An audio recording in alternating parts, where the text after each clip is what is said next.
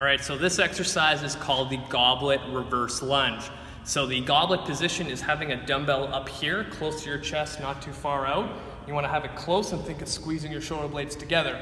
Now what you're gonna do is grab a dumbbell, pick it up in that goblet position, and you're gonna take that one leg that you wanna start with into a reverse lunge, and then back up. From the side view, reverse lunge, and back up. Just like any other reverse lunge, you're just holding the dumbbell in front and going through the motion and back up. A couple things you want to think about is depth.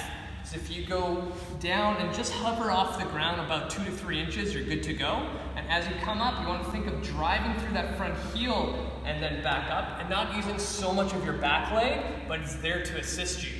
And then you're going to come up. The other thing is when you're holding the dumbbell, you don't want to have lazy arms where you start leaning it forward or leaning your entire torso forward. You want to keep yourself upright, dumbbell close to the body, come down and back up, and your reverse lunge is going to look great.